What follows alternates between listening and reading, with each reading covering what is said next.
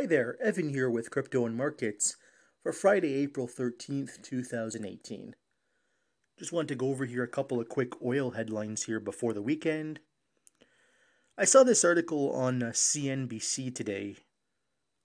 It really just irked me to no end. Oil prices again vulnerable to super spikes as geopolitics heat up and oil glut fades. First thing, if you learn anything off this video today, it's this. Whenever you hear super cycle or super spike or anything super in the business media, it always means we've hit tulip mania and we're very, very close to top. Okay? That's my first thing. And as I go through the article here, I see what the analysts are saying here, and I'm at a loss for words still. This is the first quote. The supply glut is gone. There was a security cushion, and now that's gone, said Daniel Yergin, vice chairman of IHS Markit. A lot of things are happening at the same time. Now, firstly, the supply cushion being gone, that's wrong. I'll go over that in a second. And then there was a security cushion, now that's gone, so uh, now the oil analyst is now mongering for war. Great. Here's another one. As the inventory overhang drains, we're vulnerable to super spike again, said John Kilduff, energy analyst with Again Capital. That would only be if there were losses of significant size in any major oil producing countries, particularly in the Middle East. Again, let's uh, bang the drums for more war here. More war, triple digit oil, Supp- supply constraints will stay on forever oil is going to $100 a barrel. Helima Croft, the head of global commodity strategy at RBC, said it is realistic to start thinking about Brent nearing the $80 a barrel mark. To move beyond that, we'd have to see Venezuela really drop fast. Already factored that into my estimates, more on that in a minute. Iran would have real problems. Well, won't comment there. And Yemen would have to visibly look a lot worse. Well, if you look at the humanitarian crisis there, I mean, things are absolutely terrible in that country, and I can't imagine it getting much much worse than it already has. Iran, of course, everyone's scared about the U.S. pulling out of the Iran deal. It doesn't mean anything. They have ways to bypass the sanctions. So next up, to prove this all wrong, I'm going to go ahead and do some basic math here. By the way, when I do this math, big shout out to Anas Alhajji and Shy Girl on Twitter. I'll leave both their Twitter handles down below. Great sources for energy information.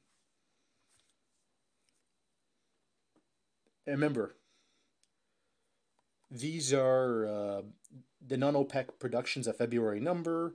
Demand is a February number. Venezuela is a February number also. And Brazil is the second half of the year. Okay? So, assuming worst case scenario, we're going to assume everything in February is going to stay into the second half of the year. Again, I think the Venezuela numbers and the demand numbers are a bit high. Non OPEC is probably a bit low. Again, we'll stay with it. Worst case scenario, you're looking at plus 100,000 barrels a day, assuming everything goes right. Non OPEC plus 1.8 million barrels a day. Venezuela minus 500,000 barrels a day. Again, I think that's a bit high. It's probably going to be minus 3 to 400,000 barrels a day. Demand 1.5 million barrels a day. I think that's really high. As you see, um, the economy continue to falter worldwide, you're going to see that demand number for oil and other commodities go down as well. And Brazil. I've mentioned Brazil in previous videos. I said they were coming back online in 2019, but because of the oil price being up where it is, it looks like they're actually coming online second half of this year.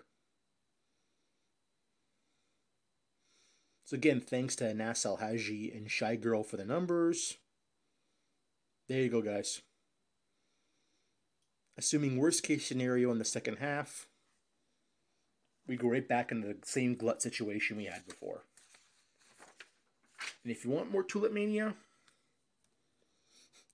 look at this uh, spec positioning. Money managers increased bullish Brent crude oil bets by 20,519 net long positions to record 632,454 contracts. And remember, each contract is a thousand barrels of oil. Long only positions rose 22,340. Short, oil pos- short only positions climbed 1,821. So long short ratio, you're at 20 and a half to 1. Telling me the whole street isn't already bullish? You're fooling the wrong guy. And here we go. New York Mercantile Exchange features only on April 10th. Keep in mind this the Syria news hit April 11th. There you go. 450,000 longs, 34,000 short. And again, that's before the Syria news when a lot of people piled in after. We know that. And you're still there at 16 and a half to 1. Lastly, to conclude, I mentioned in my video yesterday I like the US dollar. Speculators net shorts US dollar bets at largest since 2011.